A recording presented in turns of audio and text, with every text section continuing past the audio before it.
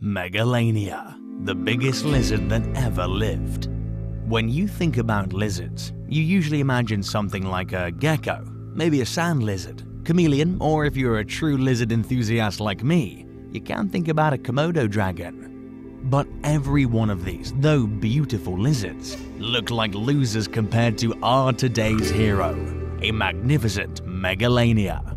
If you have a fear of reptiles, this video will be an excellent opportunity for you to look into your biggest, and I mean the biggest fear straight in the eyes, and learn everything about it.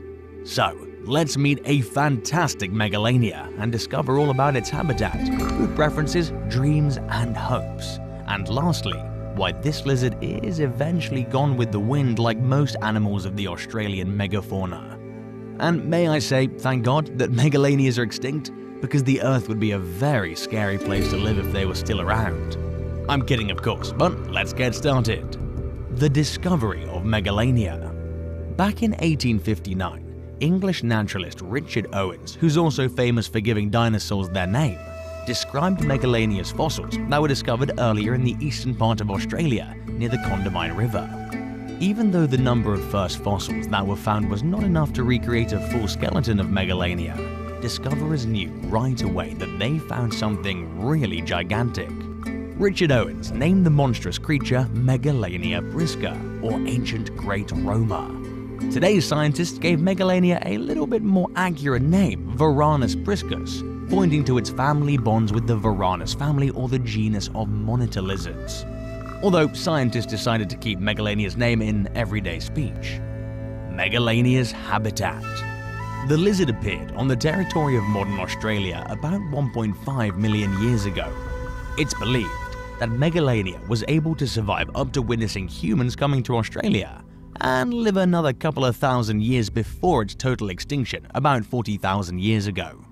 For now, paleontologists have found 50,000 year fossils and they hope to discover even younger remains soon.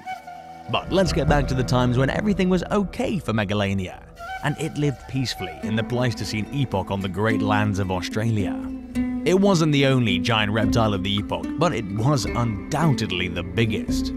Paleontologists believe that Megalania lived all around the land, in forests, woodlands, and possibly in grasslands. Sometimes the fossils were found in caves, but they probably were taken there by other animals who also probably hunted for Megalania. It was big, but not invincible.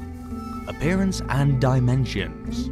Suffice to say that it was much bigger than any other terrestrial lizard that ever crawled this planet.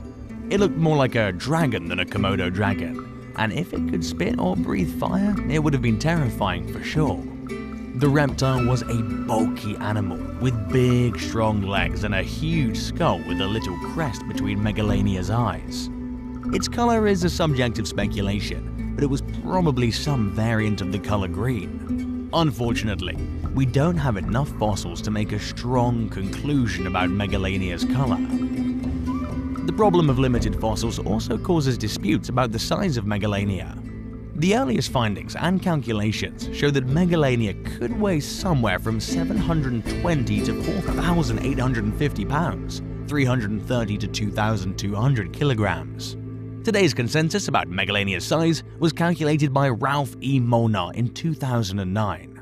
After analyzing numerous studies and comparing Megalania's fossils to modern monitor lizards and Komodo dragons, he concluded that an average Megalania was about 7.2 to 7.5 feet, 2.2 to 2.3 meters long, without a tail, and about 18 feet, 5.7 meters long with a tail. As for the biggest members of the species, it's believed that some Megalanias could be up to 10.8 feet, 3.3 meters long without a tail, and up to 26 feet 7.9 meters long with a tail.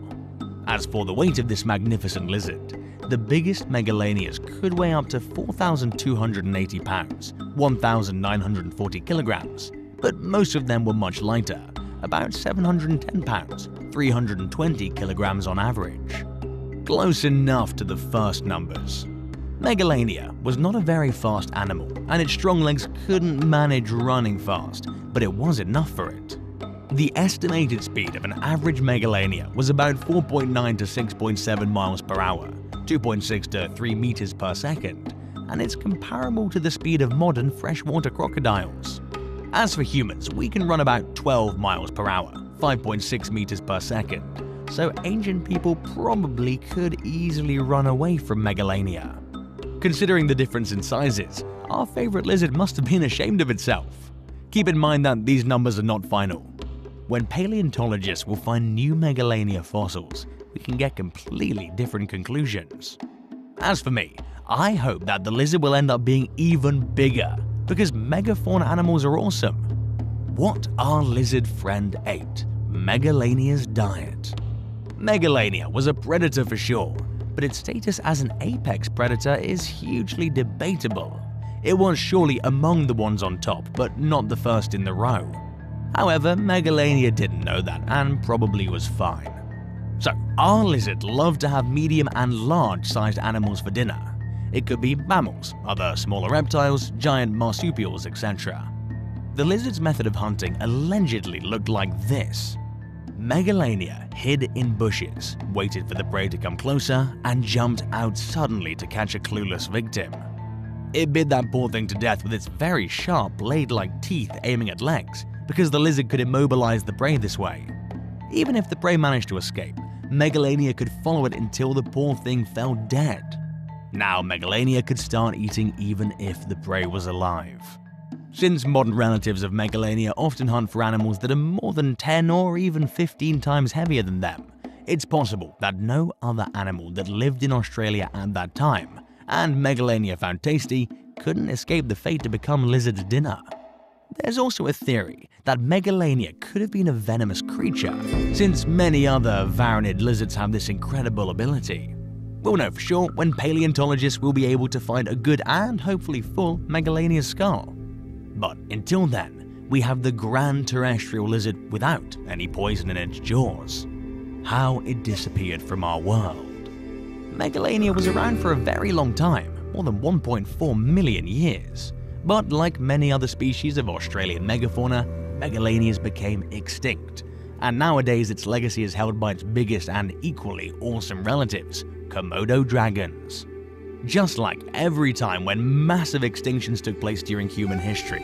Homo sapiens were the cause, the problem, and the catalyst.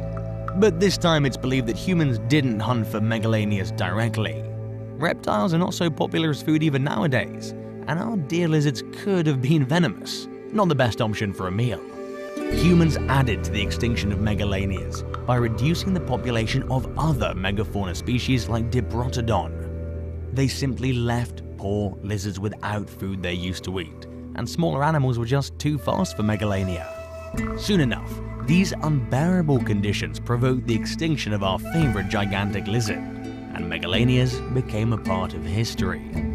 Of course, the massive extinction of Australian megafauna was caused by multiple factors like classic climate change. However, it's obvious for the scientists today that the human race was a major, if not the main factor in the untimely death of Megalania and other amazing gigantic animals of the Australian continent. The future of Megalania.